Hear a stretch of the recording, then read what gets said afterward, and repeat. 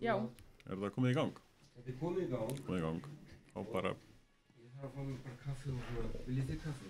Nei, takk. drekk, drekk ekki kaffi. Nei, ég er góður. Ég er engin kaffi hérna. We want to be free to, to do what we want to do. And we want to get loaded. And we want to have a good time. And that's what we're going to do. Taka smá intro þá. Bara, Björnli veit ég, þingmaður Pírata. Velkomin í Pírata spjallið.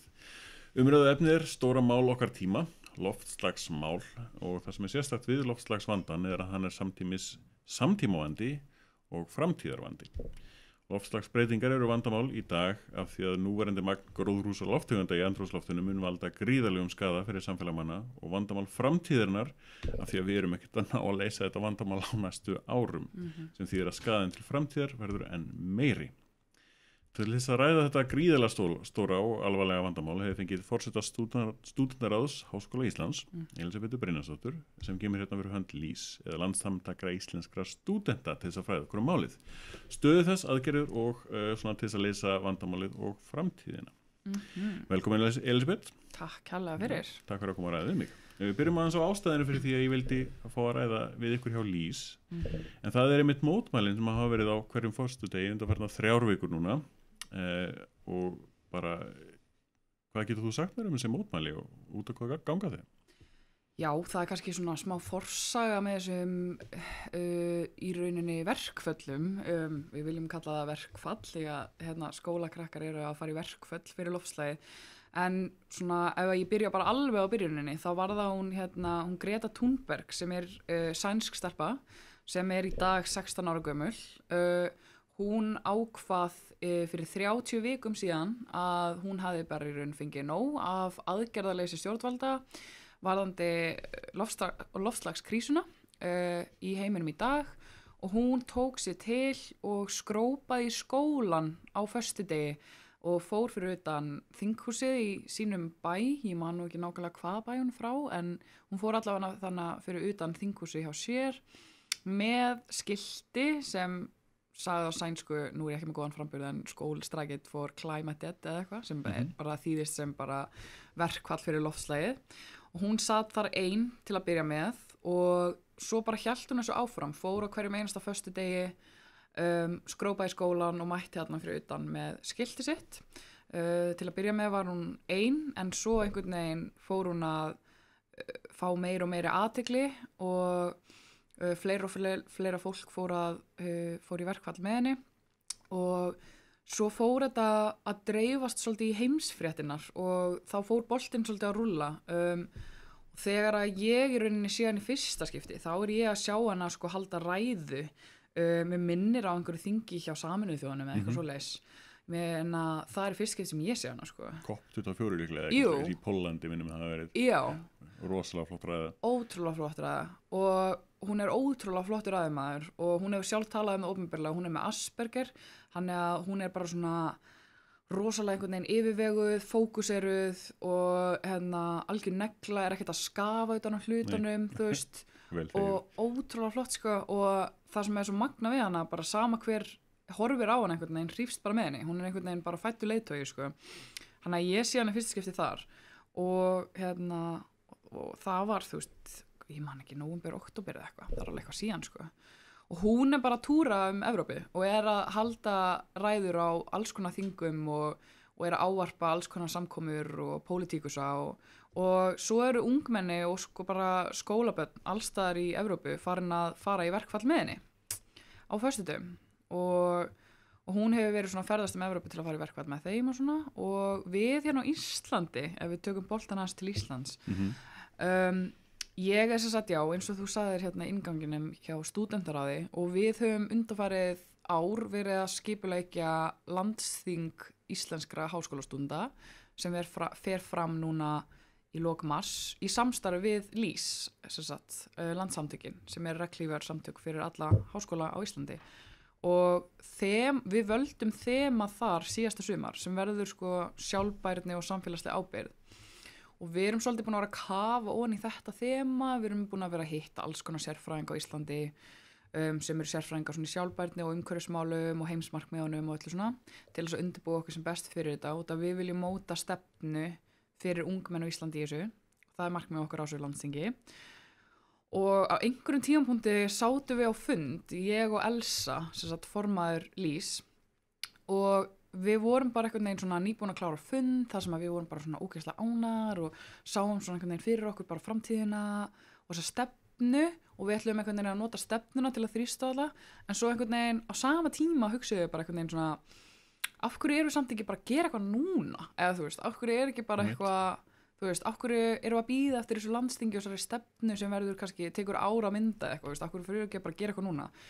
Og þá bara einhvern veginn fór boltinn að stað og þetta bara sprakk út. Við hérna, þú veist, við tölum við alls konar fólk sem við vitum að eru svona um, rótækir umhverfi sinnar og svona og, og hérna og þá voru allir búin að pæla í þessu. Þú veist að Ísland myndi hoppa með á Gretuvagnin og ég, veist, ég held, ég er ekki að grínast, ég held að það hafi tekið eða eitthvað skipulegja fyrsta verkvallið Þetta var bara klikka, ekki, sko. ekki auðvelt að skipilega svona nei, verkvöld, það var mjög vel mættið mitt ótrúlega vel mætt og þetta bara kom okkur ógeðslega óvart út að þetta varð svo sjálfbært ef ég get notað það, yfir verkvall en þú veist, þetta varð svo sjálfbært þú veist, það bara einhvern veginn, eins og ég segi þetta bara sprakk út, það voru allir búin að pæla í þessu það þurfti ekki að sannfara neitt þú veist, það voru allir bara hoppuðu með okkur á vagnin og bara létu þetta gerast uh, voru bara að dreifa orðinu og það mætti sko um 400 eða eitthvað manns á fyrsta verkvallið og það voru, veist, það voru 3500 manns búinir að gera going eða interested á, á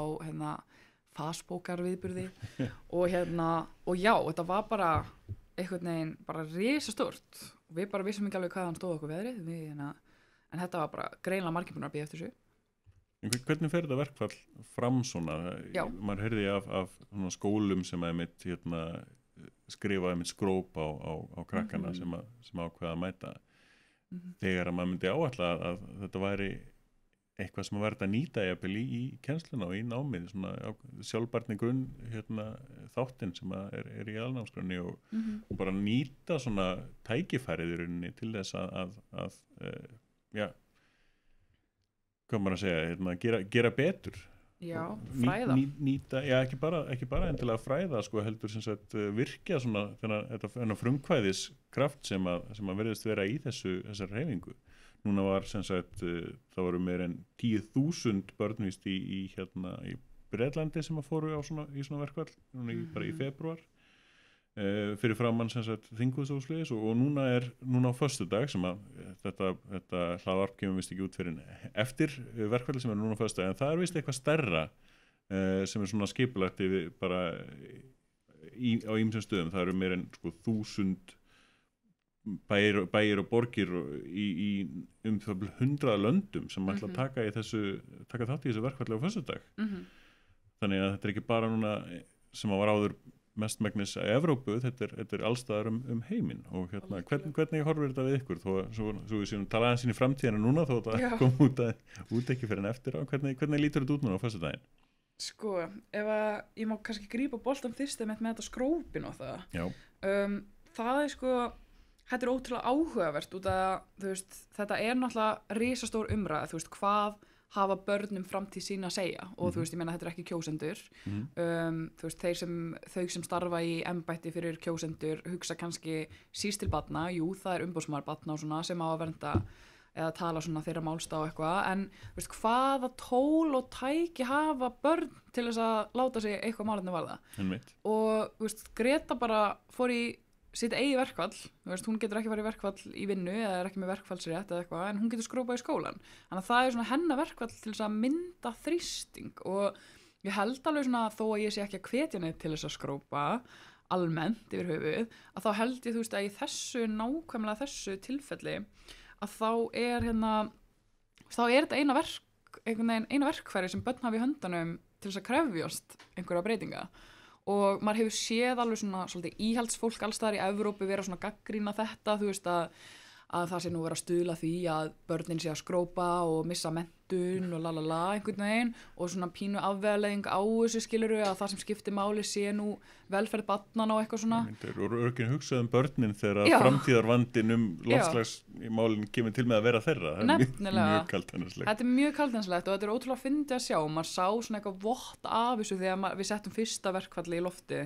á eitthvað svona smá Twitter eitthvað svona, þú veist, það er nú ekki góð þróun að börn á Íslandi fara að skrópa og maður eitthvað svona, ok, þú veist, ég til í þennan slag.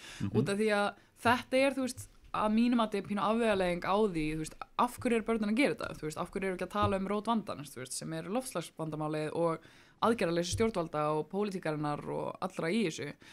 Um, næsta föstudag er sem sagt, eða næsta föstudag uh, núna en Já. í framtíðinni síðasti föstudagur Föstu dagurinn 15. Já, mars föstudaginn 15. mars þá verður þetta aðeins með öðru sér snið út af því að þá verður svo kallað á ennsku global strike sem við höfum þýtt sem bara í rauninni alheimsverkfall uh, fyrir loftslæði og það hefur búið að búið til svona heimasíðu þar sem hægt er að skrá sí, sína borg eða bæ eða, eða enna hvað sem þú ert að móðmæla eða fara í verkfall og það er einmitt eins og þú segir þá, sko, þegar ég tjekka á þessi morgun þá voru um 1400 bæjar og borgir skráðir sko.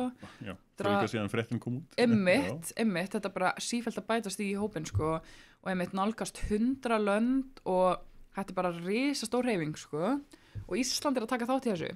Um, sem er geggjað og við erum ekki bara að gera það í Reykjavík. Ég veit að Akranes ætla líka vera með verkfall og Akureyri Mhm. og mögulega fleiri. Við erum svona að skoða Suðunisinn og Selfoss að, og ég menna verkfall þetta þarf ekki að vera 500 manns þú veist, þetta get, það er nóg að það séu tveir sem taka sér saman eða einn og fara bara út á götu og skrópa Eins og Greta gerði. ein- og hennar bóðskupur hefur alltaf verið þú veist, það er engin of smár til þess að hafa áhrif þú veist. Og, það, það er einmitt á, áhugavert því að við erum náttúrulega Ísland, lítið land mm höfum við lítil áhrif þó að séum Mhm. lítið land ég meina þegar að einn ein byrjar -hmm.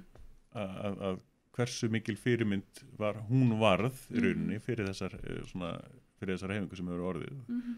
getum við ekki gert, gert eitthvað svipað ég meina hva, hvaða áhrif getur um Ísland haft uh, hvað tækifæri höfum við á Íslandi til þess að hafa áhrif, áhrif í þessum málum hver er svona, hver er svona skoðun skoðun þín á, á, á svona uh, tækifæri með mitt Íslands til þess að, að, að gera betur.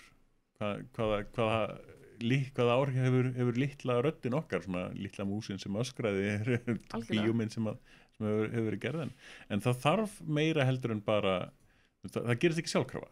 Þannig að er það erfiðara fyrir okkur á Íslandi þó þessi lítil eða er það jafnvel auðveldara Mm af því að, af því að við erum svona lítil og, og, Mhm. og uh, ég er, er að velta því fyrir mér hversu hve- hvenar og hvernig svona, við, við getum farið að byrja og hvað, hvað þá aðgerð, aðgerðum við erum að leita að. hvað að, aðgerðum er þetta verkfall að, að, að, leita að hvað, hvað myndi vera svona ásættanleg viðbröð hjá stjórnvöldum Mhm. að ykkar mati og, og, og svona, eftir hverju eru að leita þar Þetta er náttúrulega rosa stóra vangveldur. Um, það sem við hefum fyrst og fremst verið að uh, benda á er uh, hversu litlu fjármagni er varið í þennan málflokk samkvæmt núrandi fjármálaállun og samkvæmt henni er þetta 0,05% af verkli landsframleyslu til næstu fimm ára í mm sagt, málflokk í fjármálaállunni sem heitir bara loftslagsmál.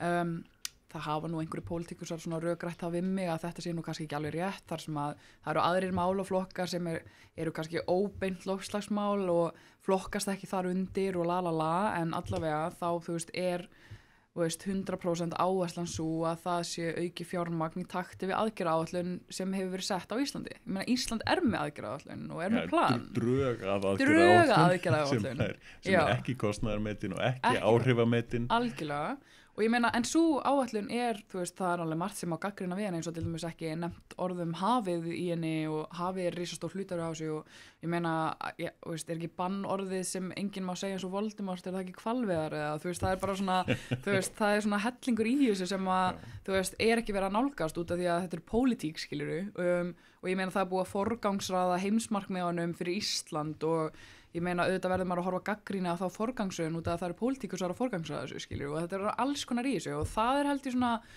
þú veist, þetta er fyrst og fremst krafa um auki fjármagn í málflokkin að það verður stutt betur við þessa aðgerra áallun við viljum stefna að uh, aukinu kólefnisjöfnun og við viljum stefna að bara rótakara aðgerðum og við verum það sem að Greta hefur verið að benda og í rauninni við svolítið tekið upp uh, málflutning hennar með er svo að veist, umræðan hinga til er alltaf sko, hvernig látu við kerfið sem við höfum sniðið núna í dag ganga áfram? Þú veist, við erum svolítið einhvern veginn að reyna að búa til hjálpardekk við þetta skrýmsli sem við erum búin að búa til. En veist, við viljum frekar að umræðanar verða þú veist, hvernig við að breyta þessu skrýmsli sem við erum búin að búa til og þú veist, halda svo áfram á réttri, réttur róli. Þannig að þú veist, við þurfum veist, við erum ekki að tala um sko, þú veist, hvernig getum við rafbílavætt alla um, og haldi bara núrandi umferð áfram? Heldur staðin kannski, hvernig getum við bara farið veist, almennilega aðför? Nei, en, Nei. veist, en við viljum sko, veist, hugsa þetta við viljum einhvern veginn ekki finna lausn á þessu vandamál sem við erum búin að búa til núna. Að taka tillit til lausna sem eru fyrir utan, utan kassan já, já, já, já, klálega. Að- og að þú veist, einmitt ekki reyna að ekki reyna að hjálpa skrýmstum sem við erum búin að búa til að geta lifað í nokkur ári viðbútt heldur bara breyta þessu En, en það er vandamál okkar, jú, við, við erum tímulegs með stefnunum að vera kolefnins hlutlaus, Mhm. en eins og ég sagði í, í kynningunni hérna, þá er núverandi bara magn gróðurúsaloftegunda í, í hendrúsloftinu, þannig að við myndum hætta að vera kolefnins hlutlaus híðan í frá, Mhm. þá er núverandi staða vandamál til framtíðar, það er, það er uppskrift eins og, eins og hefur komist að bara uppskrift að langtíma hörmungum Mhm. bara núverandi staða, en við erum stöðugt að bæta í, þannig að það sem við þurfum að læra er að verða kolefnis neikvæð í rauninni algjörlega til þess að geta allavega svona snúið eitthvað tilbaka en ímsar, ímsar óvissur þar líka en, en, við vitum það allavega að núverandi ástand er uppskrift að lang, langtíma hörmungum þannig að og þetta er alltaf svona, þú veist, ef ég má grípa Já. aðeins boltan þar um, þú veist, þetta er líka sko þú veist, ég held að fólk maður er ekki reyna að vera með eitthvað hræsluðaröður hérna, en þú veist, ég held að fólk áttir sig ekki á þú veist, oft alvarleikanum út af því að þetta er svona ógn sem læðist svolítið upp að okkur, þú veist, og það var svolítið skemmtileg myndlíking sem ég las á Twitter um daginn það sem er, þú veist, tvær mismunandi aðstæður að það er, þú veist uh, tveir pottar á hellu annar er, þú veist, með köldu vatni og kveikt á hitanum og hinn er, veist, sjóðandi. Og það er froski, ég veit ekki á hverju froski ánóttar, en veist, það er froski kastað út í sjóðandi vatnið og það er náttúrulega hríkalegt og, og svo er froski kastað út í vatnið sem er kalt og er að hitna. Já. og það gerist þá bara hægt og rólega að þanga til að allt bara fyrir til fjandans. Og það er svolítið loftslagsvandamálið, það er að lagast upp á okkur. Og við höfum svolítið að vera líka svo við, þú veist, börnin og unga kynslaði nútidags er allavega að saminast í þeirri afstöðu að þetta sé einn stærsta ógn við mannkynnið og okkar framtíð. Ef það væri stríð, þú veist, að núna Íslandi sem væri sjóðandi potturinn þá myndi enginn gera þá kröfu einhvern veginn að allir einstaklingar á sínum heimilum myndi nú taka saman höndum einhvern veginn og vinna þetta stríð fyrir hönd Íslands, þú veist, það eru þau bara, þú veist, bara ríki myndi setja eitthvað fordæmi, ríki myndi setja upp her, ríki myndi, þú veist, það myndi bara verið tekin einhvern veginn, tekið höndu saman sem Ísland einhvern veginn og vinna þetta stríð. En, nú, en með lofslagsvandamáli þá er einhvern veginn ábyrðin bara einstaklingum. Þú veist, við eigum öll bara flokka, við eigum að kaupa rafbíla, við eigum að vera vegan, við eigum að gera hitt og þetta. Og við eigum bara sigra þetta stríð einhvern veginn inn á okkar heimilum. Þegar að stóra vandamálið er í rauninni mörgum öðrum að kenna stóra vandamáli og ég vil líka bara benda á að þetta er ekki bara veist, þetta eru þetta líka um, ábyrgur atvinnurækstur og stóriðjan og þú veist, allt það sem að enginn vill þóra einhvern veginn að nefna hérna, það, það er nefnilega áhugavert vandamál því að það, það hefur verið upp, svip, upp í svipað vandamál áður Mm. að það var varandi ósónleið og, og það var smá saman að eyðast upp Mm. og það náðist sem sagt samstaða um, um uh, aðgerðir þar á Montreal uh, fjallaði um það í grein í New York uh, Times Magazine Mhm. svo var mjög áhugaverð grein og þar var á sama tíma ég myndi reynd að fá samning um viðbröð við sem sagt uh, gróðrúsaloftegundum, lofslagsmálunum þar en það náðist að tengja sem sagt uh, eyðingu ósónlagsins við krabbamein mm. það, það kvatti sem sagt stjórnmálumenn til aðgerða því að fólk skildi fólk var með ákveðna hræðslu gagvart mm krabbameini. En það skildi ekki afleðingarnar og, og, og við hvað átt að vera, og rætt við. Mm mm stjórnmálumennir að missa, missa hérna, völdin sín í rauninni hérna, út frá, frá loftslags gróðrúsa gróðrúsa vandamálunum. Og hérna og þetta hefur, vísindarsamfélagi hefur verið að kalla eftir þessu núna bara í ára tugi og stjórnmæl hafa gert núna þessa alþjóðasamningar sem kendir við Kyoto og París og þá er samt spáin fyrir framtíðina nú hansi svört um, og þá velti ég fyrir mér hvað svona geta rattir þá unga fólksins gert til þess að ná bara meiri ár- árangri heldur en vísindarsamfélagið og stjórnmálamenn því að það er ekki eins og stjórnmálamenn hafi verið rosalega duglegir að hlusta á rættur unga fólksins hingað til Hva, Mhm. hvað, hvað er að bætast við? það sem ég held að sé bara bætast við er þú veist ég einhvern veginn, kannski er ég bara barnslega í minni einfeldni en þú veist ég einhvern veginn neita að trúa því að fólk getur bara litið fram hjá þessari byltingu sem hefur átt í stað hjá börnum og hjá Gretu og að þetta verði bara eitthvað svona eitthvað svona trend í einn mánuð og svo deyr þetta út einhvern veginn, ég einhvern veginn neita því. Ég meina að það sé ekki að fara af áhrif, þú veist og þetta mun smita út frá sér og þú veist, ég held að fullorðið fólk mun einmitt fara að taka kannski upp hanskan og málefnið einmitt svo fyrir börnin sem er að veita svona mikla aðtegla að þessu og veist, þetta er ekki bara eitthvað sem börn auðvitað eiga að vera að gera, þetta er auðvitað eitthvað sem við eigum öll að gera og vera að taka þátt í þessari uppreist og að þá getur einmitt fullarlega fólk, fullan og fólki sem, sem ber ábyrðina, sem eru kjósendur, sem eru, sem eru í valdastöðum að taka þetta til sín og þetta er veist, öllum finnst þetta rosa snúið, þú veist, hvernig ég var að snúa okkur, en í rauninni finnst mér þetta ekkert persónulega mjög snúið, þetta er bara pólitingin sem flækist fyrir, út af því að, þú veist, með því að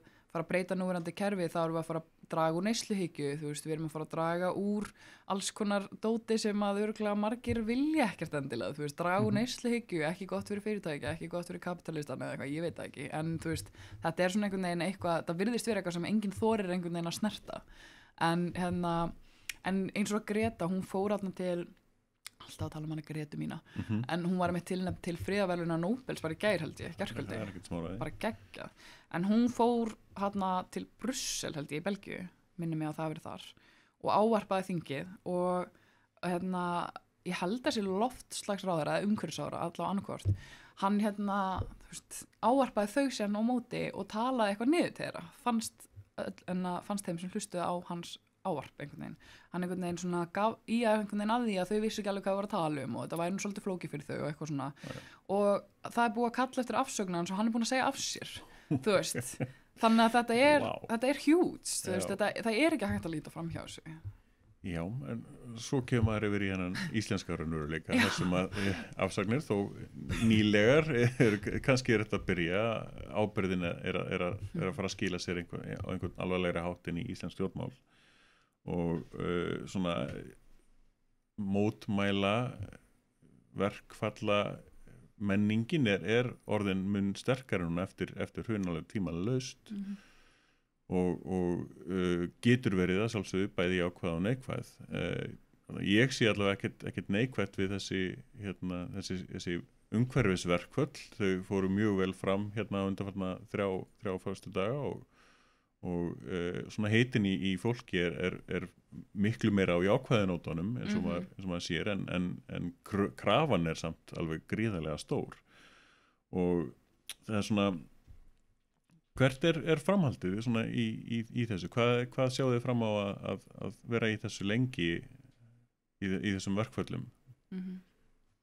sko við bara sjáum í raun ekkert fyrir okkur við bara gerum þetta einhvern veginn allavega þau sem við sem hefum komað að skipulagningunum við einhvern veginn erum bara að gera þetta þangur til að gerist eitthvað og þú veist það verður þá bara til ófyrir séð langan tíma. Við erum ekkert held ég að fara að hætta. Ég held að þetta ver- muni bara vera til staðar þar til að það verður eitthvað almennilegt gert. Og ég meina við erum að setja svolítið mikið púður og fútt í þetta í 15. mars síðasta föstu dag fyrir ykkur hlustendur. En hérna við erum búin að vera að setja svolítið skipulagningu og tíma og púður í það en það verkvall, það er global.